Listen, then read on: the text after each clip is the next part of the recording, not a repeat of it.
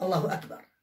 Kainat kopacağı zaman, her şey çerçöp olacağı zaman Allah diyecek ki limenil mulkul yevm ya Allah limenil mulkul yevm üç kere seslenecek. Cevap vermeyince lillahul vahidul kahhar kahhar her şey çerçöp olacak bir Allah baki olacak. Allah Celle Celaluhu. İşte ne dedik burada? Her şey fani olacak ancak Allah müstesnadır. Tebareke ve Teala. O ilmiyle, kudretiyle, sıfatıyla her yerde Allah Tebareke ve Teala dediğimiz gibi. Ve burada Zümer suresi 3. ayette huvel evvelu vel ahiru vel zahiru vel batinu ve huve bi şeyin alim. Diyor ya Allah. O evveldir.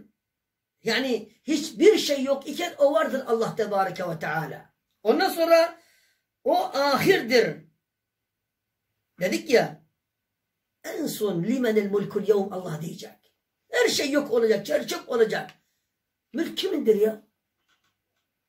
يا دنيا بالتفسير كما جاء يا دنيا أين أشجارك؟ أين أنهارك؟ أين الذين كانوا يأكلون من خيري ويعبدون غيري يا دنيا؟ أين الجبارون؟ أين المتكبرون؟ أين الظالمون؟ بل أين فرعون؟ أين هامان؟ أين هم يا دنيا؟ تفسير ده geçiyor Dünyada rızkımdan, nimetlerinden yiyip de benden başkasına kulluk ederler. Nerede ey dünya? Nerede cebarutlar, zalimler, kafirler? Neredeler ey dünya?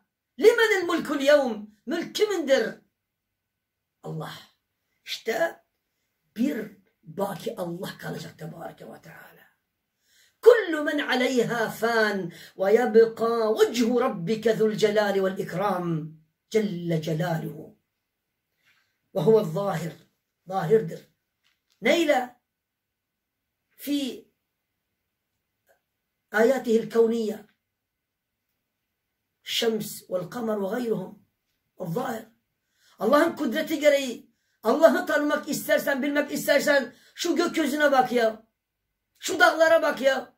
Şu dağların nasıl dikildiğini, şu uçsuz bucaksız kainatın nasıl direksiz bir şekilde inşa edildiğini, aynı su, aynı toprak, aynı yer olmasına rağmen ayrı ayrı bitkiler, ayrı ayrı meyveler, ayrı ayrı sebzelerin tat verdiğini, şu parmak uçlarımızı bile milyarlarca insana ayrı döşemeye başaran bu neyi gösteriyor, neyi Allah için neyi ya?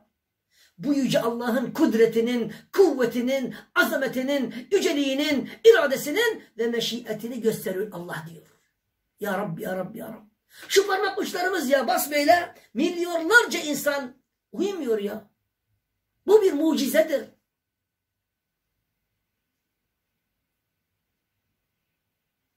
O açıdan Yüce Allah'a en güzel bir şekilde kulluğumuzu yapmamız gerekiyor. Son fayda yarın orada pişmanlık vermez ha. Geldik ve gideceğiz.